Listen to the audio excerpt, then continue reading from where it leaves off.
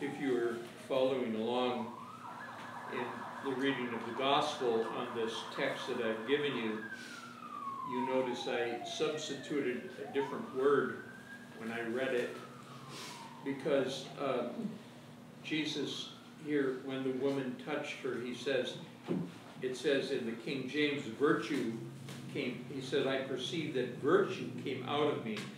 I have no idea why, uh, maybe, well, maybe I can guess, why the translators in England, when they wrote the King James, when they translated the King James, put virtue in there, because most of the time they use, the biggest amount of times they translate the word power. Dunamis. Interestingly enough, dunamis is a feminine word in Greek. It's power. You'd think you'd think it would be. I would think it would be masculine, but no, it's it's feminine. And uh, it's it's interesting if you look at those kind of gender things in, in, in the vocabulary of the Bible. But power is thought to be is is somehow has a feminine side to it. And maybe that's kind of built in to God's kind of power because God's power is infinite power, but it's also infinitely gentle. And his power is absolutely good. And his goodness is all powerful. His power is a loving power. And his love, when you read, I've said before that 1 Corinthians 13 gives the essence of orthodoxy. The love. Love never fails. The unfailing love of God in Christ is the core of holy tradition. But that is also power. And Jesus is showing here, he's like a fountain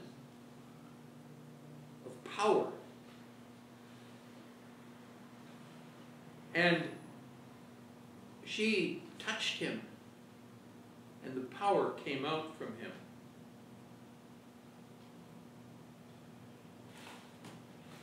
when we kiss an icon and touch it with our lips, we're venerating the work of God. And that's the work of God is in the saints is connected with the humanity of Jesus, the Son of God.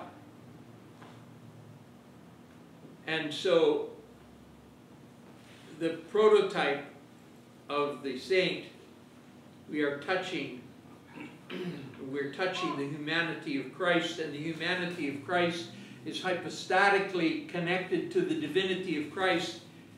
And so we are doing the same kind of healing touch when you kiss an icon. or when you partake of the body and blood of Christ, far more so. You are connecting to his body and his blood that is given for your salvation. So what he shows here is his great power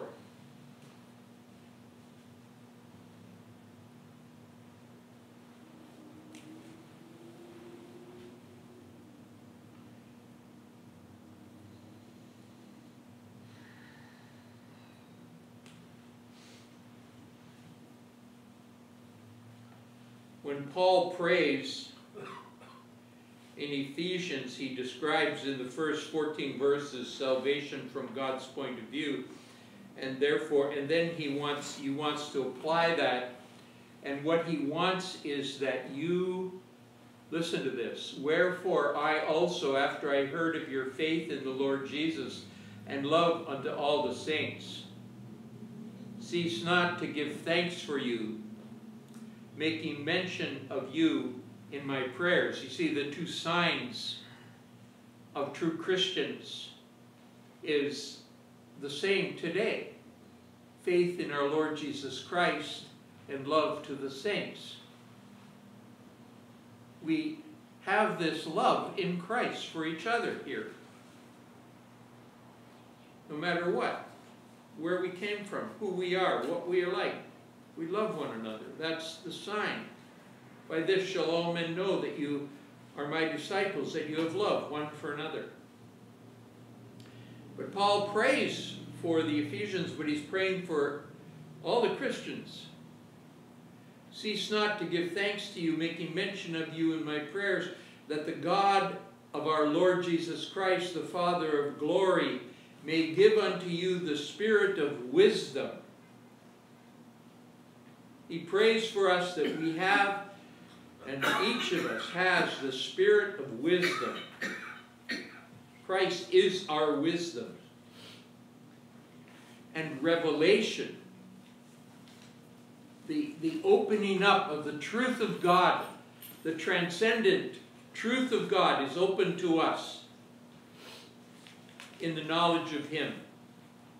That the eyes of your understanding, your noetic vision, being enlightened, that you may know what is the hope of his calling and the riches of the glory of his inheritance in the saint. And then he says, that you may know the exceeding greatness of his power to usward who believe.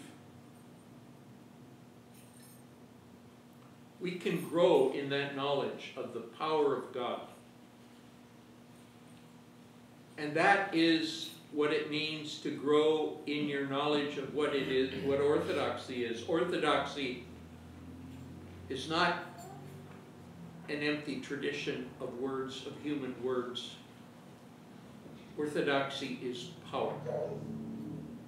Not any power, but perfectly loving, good, holy, righteous power.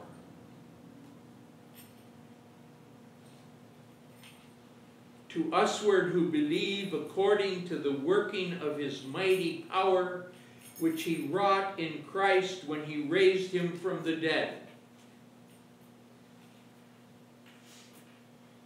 Think of all the Paschas we've celebrated, and we, we live in that, in that Paschal season. We live in that gentle, loving, holy power of God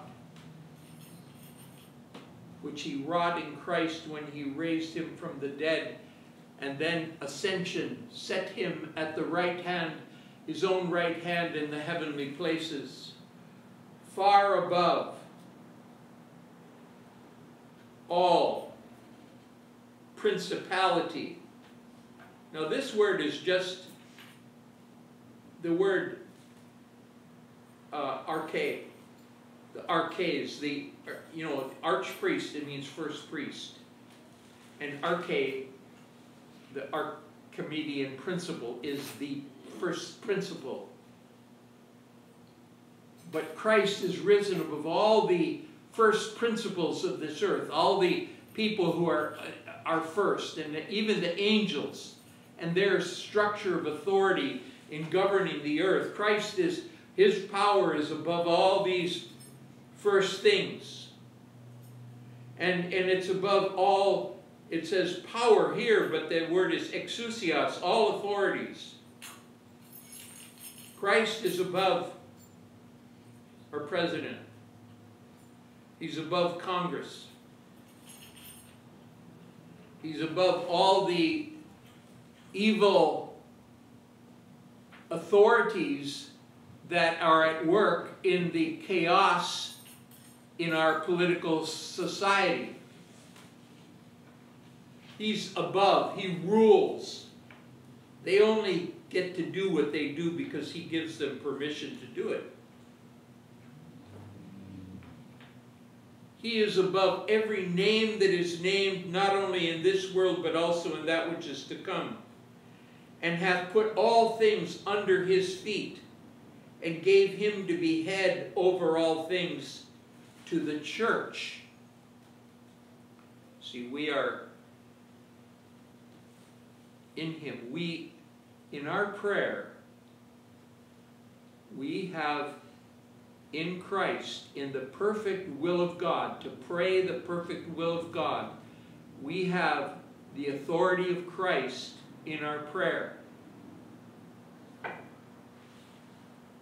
Over all the powers of this world. We surrender to God's ruling. He makes the decisions. But He will answer our prayer. Asking you shall receive, seeking you shall find. You shall receive power, Jesus said. After that, the Holy Spirit has come upon you. And that prayer is exercised in a, that, that power of our loving power for good, for the salvation of men as they seek, those who seek the truth, we're backing them up with our power and our prayer.